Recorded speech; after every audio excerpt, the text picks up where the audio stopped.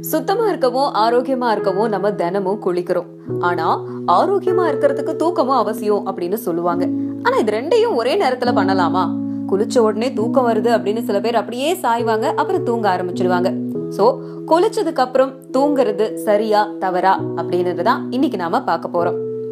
குளிக்கும் போது நம்ம உடம்புல இருக்கிற உஷ்ணம் வெளியேறும். அதுக்காக தான் நிறைய பேரு குளிக்கிற முறையும் சொல்லியிருக்காங்க. பாதத்துல இருந்து தண்ணி ஊத்தி கொண்டு வரணும். அப்பதான் முகத்துல இருக்க துவாரம் மூலமா உடம்புல இருக்கிற உஷ்ணம் வெளியேறும் அப்படின்னு சொல்லிட்டு. அந்த உஷ்ணத்தை வெளியில போக்குனதுக்கு அப்புறம் நம்ம வீட்டுக்கு வந்து அட்லீஸ்ட் ஒரு ஒரு மணி நேரமாச்சும் வேற ஏதாவது வேலையில கான்சென்ட்ரேட் பண்ணணும். உடனடியா நம்ம வந்து தூங்கணும் அப்படின்னா இப்பதான் அந்த உஷ்ணத்தை வெளியில கொண்டு போகணும். தூங்கும் போது அந்த உஷ்ணம் திரும்பவும் நம்ம உடம்புக்குள்ள வந்துடும் அப்படின்னு டாக்டர் சொல்றாங்க.